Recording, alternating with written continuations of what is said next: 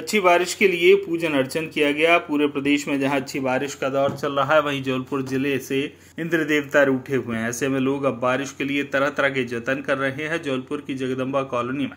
बारिश के लिए भगवान की पूजा अर्चना की गई और प्रार्थना की गई कि जल्द ही अच्छी बारिश हो ताकि गर्मी से निजात मिले और किसानों को भी परेशानी उनकी दूर हो। पूजा पाठ किया जी।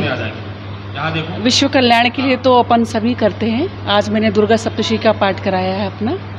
तो अपने जितने पंडित जी हैं इनके द्वारा कराया था और सभी अच्छे पंडित जी हैं। अब मैं क्या बोलूँ सभी ने बहुत अच्छी पूजा करी है और ईश्वर से कामना करते हैं कि आगे सबके हित के लिए अच्छा ही होगा जो भी होगा।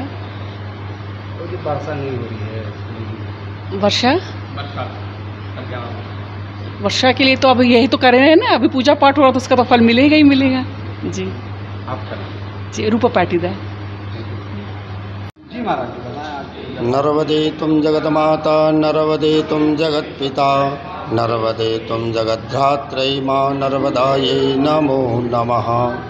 माँ जगत जगतजननी की हम लोग सभी गुप्त नवरात्रि में आराधन कर रहे हैं, जिसमें यह कामना कर रहे विश्व कल्याण के लिए कि हमारी संस्कार धानी अन्य क्षेत्रों में जल की वृष्टि के लिए भगवती से प्रार्थना एवं वरुण देवता से पूजन अर्चन कर रहे हैं। कि हमारी संस्कार धानी में पूरे विश्व में सुंदर जल की वृष्टि हो। जल की वृष्टि होगी तो अन्नपूर्णा माँ की कृपा होगी। जन जन में अन्नपूर्णा की कृपा बरसाई जाएगी।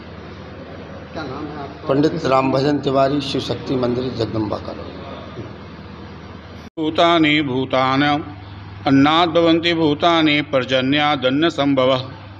यज्ञात् भवन्ति पर्जन्य यज्ञ कर्म समुद्भव इस सृष्टि के सारे प्राणियों का जन्म और उनका निर्वाहन जल से ही संभव है। अतः नगर में और इस देश में सम्यक वृष्टि हो, इसके लिए ब्राह्मणों के द्वारा माता प्रकृति का आराधन कार्य किया जा रहा है। हमारा विश्वास है, इस पूजन से, इस यज्ञ से, इस नगर में और देश में सम्यक वृष्टि होगी। जय माता की पंडित सुबोध प्रथु त्रिपाठी।